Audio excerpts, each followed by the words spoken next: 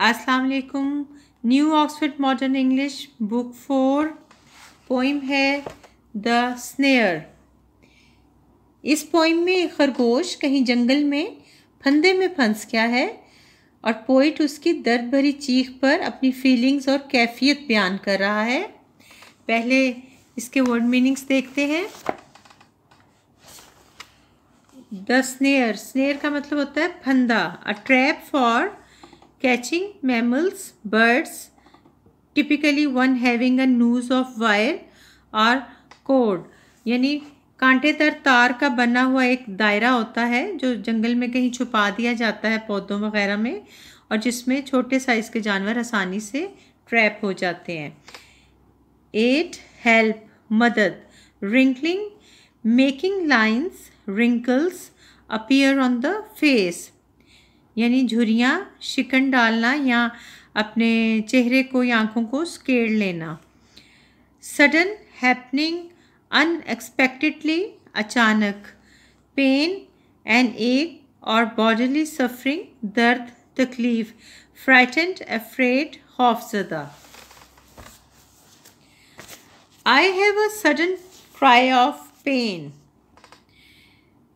ये पोइट कहता है कि मैं एक दर्द भरी या तकलीफ़ की एक अचानक चीख सुनता हूँ। There is a rabbit in a snare एक खरगोश फंदे में फंस गया है। Now I hear the cry again मैं, अब मैं चीख दोबारा सुनता हूँ। But I cannot tell from where मगर मैं बता नहीं सकता कि कहाँ से। यानी पोइट कहता है कि मुझे समझ नहीं आ रहा। इधर उधर तलाश कर रहा हूँ, पर समझ नहीं आ रहा कि आवाज़ कहाँ से आ रही है। But I cannot tell from where दोबारा कहता है कि समझ नहीं आ रही। मैं बता नहीं सकता कि कहाँ से। He is calling out for aid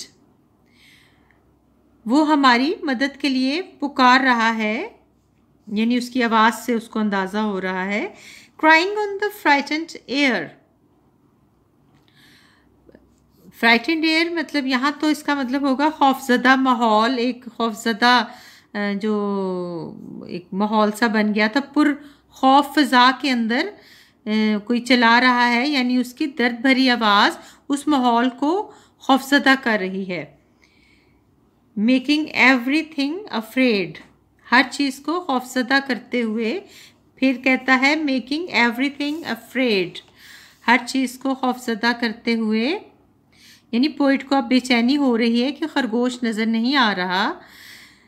Wrinkling up his little face poet को खरगोश तो नज़र नहीं आ रहा, लेकिन उसकी दर्द भरी आवाज़ से उसके चेहरे के तकलीफ़ दे तासरात को वो इमेजिन कर रहा है कि अपने नन्हे से चेहरे को शिकन आलूद करते हुए, सुकेटते हुए अपने चेहरे को, खरगोश मतलब तकलीफ़ से अपने चेहरे को भेज रहा होगा।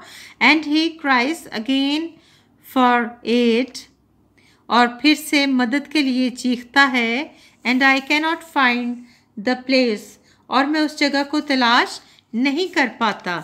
And I cannot find the place और मैं उस जगह को तलाश नहीं कर पाता। Where his paw is in the snare जहाँ उसका पाँव फंदे में फंसा है, उसका पंजा फंदे में फंसा है। Little one oh little one अब पोइट को उस पर बहुत प्यार आ रहा है और वो उसे पुकार प्यार से पुकार रहा है, नन्हे ओह नन्ने आई एम सर्चिंग एवरीवेयर मैं हर जगह ढूंढ रहा हूँ।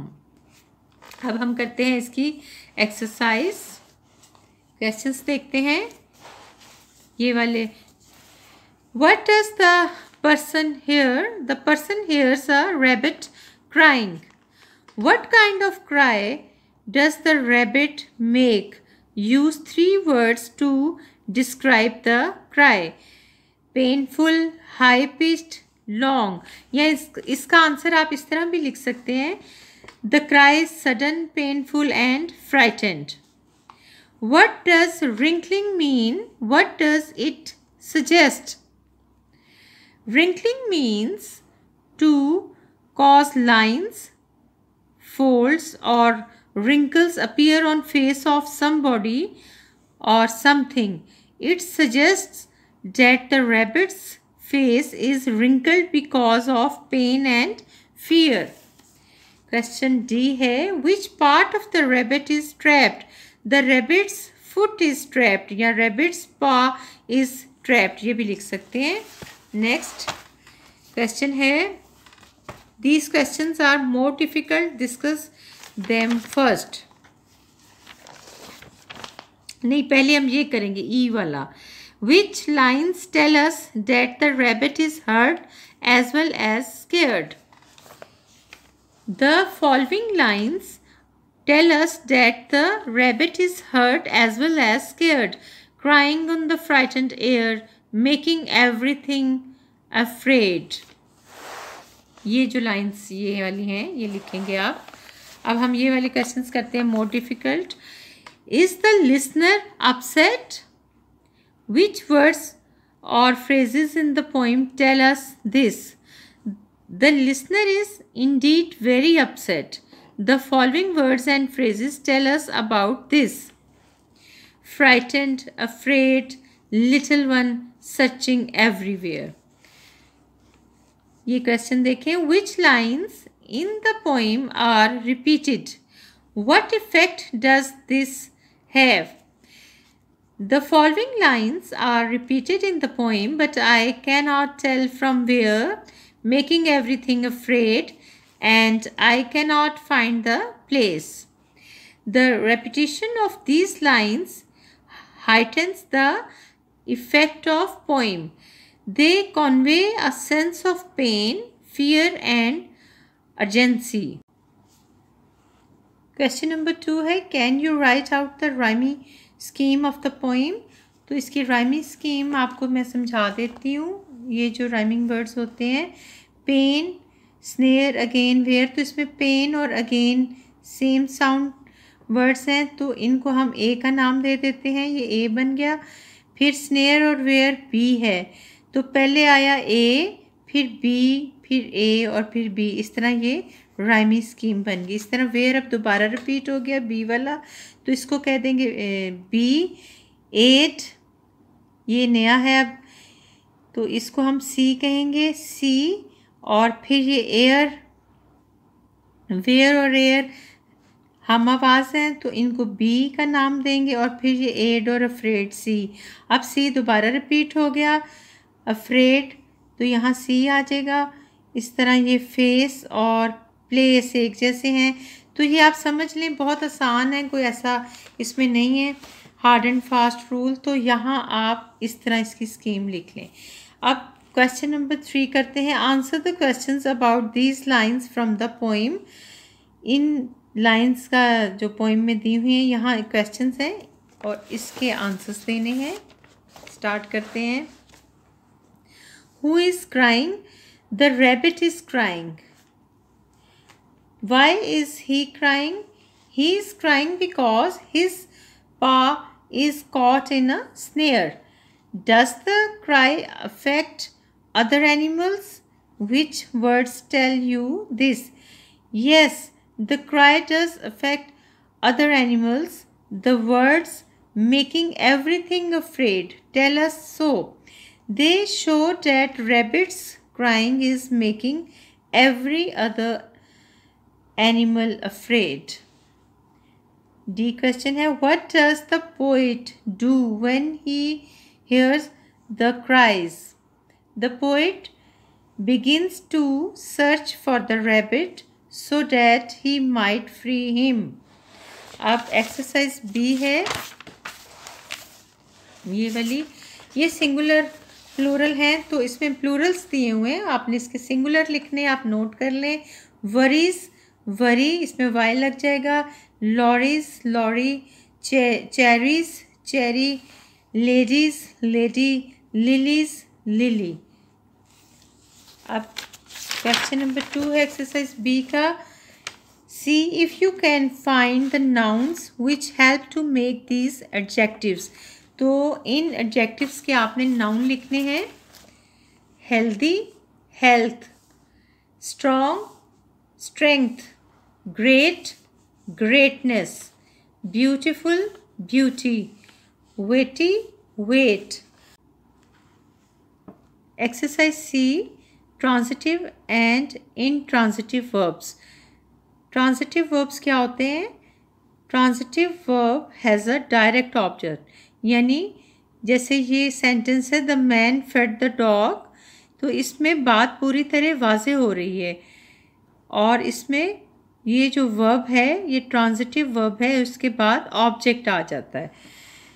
द बॉयज़ प्लेड लेकिन इसमें जो प्लेड है, ये इन ट्रांजिटिव वर्ब है, क्योंकि इसके बाद डायरेक्ट ऑब्जेक्ट या ऑब्जेक्ट नहीं आ रहा।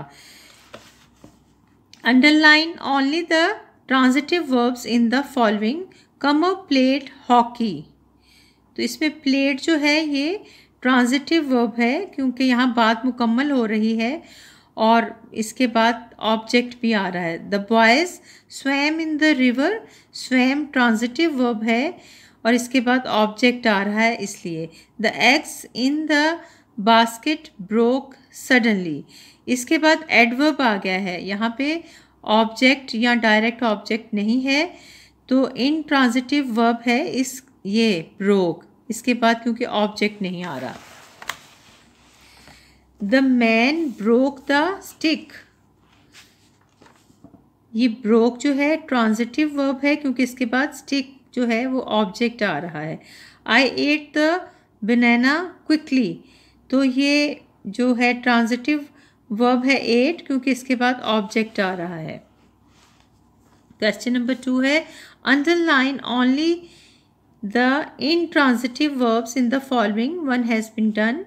The children sang beautifully. ये intransitive verb है because इसके बाद ये adverb है और object या डायरेक्ट ऑब्जेक्ट नहीं आ रहा शी स्पोक उर्दू इसको हमने क्योंकि उन्होंने यहाँ पे सिर्फ़ ये कहा है कि इनको आपने अंडरलाइन करना है तो जो इंट्रांजिटिव हैं, वही हम अंडरलाइन करेंगे क्वेश्चन नंबर टू में। तो ये नहीं है इसमें, इसलिए कि ये उर्दू जो है, इसका ऑब्जेक्ट है स्पोक का। तो इसको नहीं करना underline Aamir close the door इसमें भी ये ट्रांजिटिव वर्ब है, क्योंकि इसके पास डोर आ रहा है, ये इसका ऑब्जेक्ट है, इसको अंडरलाइन नहीं करना। तो आई के एट क्विकली एट यहाँ पर इन ट्रांजिटिव वर्ब है, क्योंकि इसके बाद कोई ऑब्जेक्ट नहीं है, बल्कि एडवर्ब है। तो अब हम करते हैं कॉम्पोजिशन एक्सरसाइज ई की।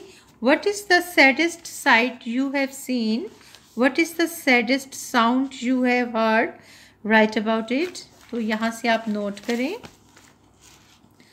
The saddest sight I have seen are the little children which are used by their so-called parents for begging.